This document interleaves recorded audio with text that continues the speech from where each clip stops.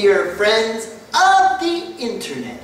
It is me, Edward, and today I am with my beautiful wife, Paula, and we are going to prepare a guanabana.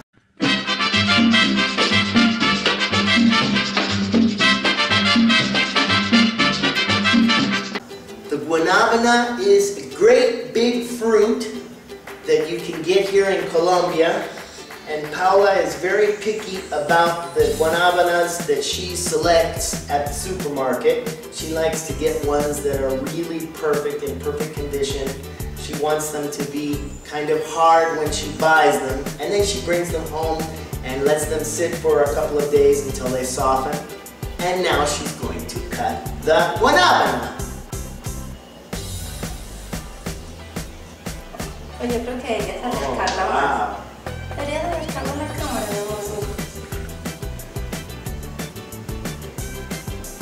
Una banana en perfecta condición. Ok, a ver. Sabemos que está buena, ya que la cáscara se desprende completamente sin necesidad de colocarle cuchillo. Está súper bueno.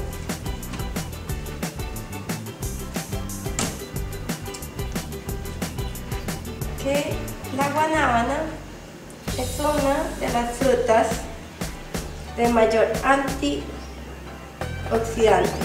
Evita el cáncer. Es muy rica. Vamos a empezar a quitarle las semillas. A ver cómo son las mis semillas. Ya, Son así. son grandes.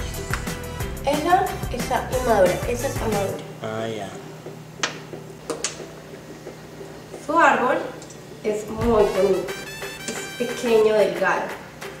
Y ya salen del tallo.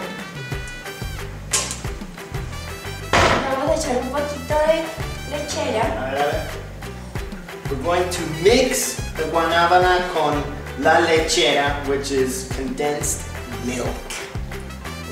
Está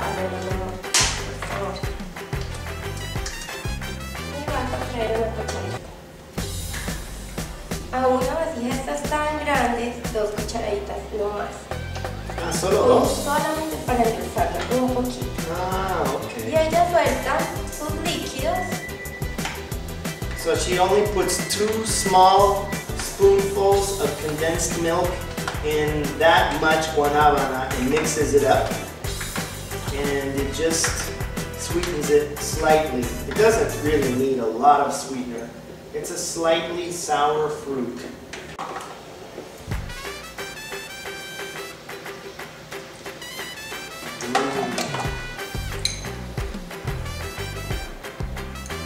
This is one of my favorite fruits here in Colombia is guanabana. It's absolutely delicious.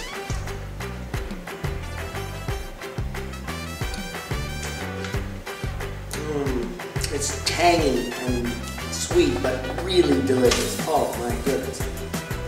Mm.